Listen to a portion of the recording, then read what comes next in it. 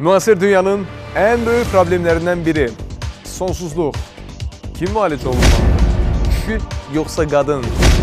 Bu problemi yaradan səbəblər hansılardır? Ailə qurduqdan nə qədər sonra həkimə müraciət etmək lazımdır? Bütün sualları yüksək ixtisaslı ginekoloq cərrah, laparoskopist Vüsal Məmmədov cavablandıracaq.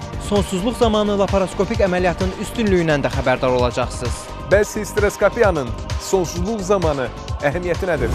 Hamısını deyəcəyik. Mütləq izləyin.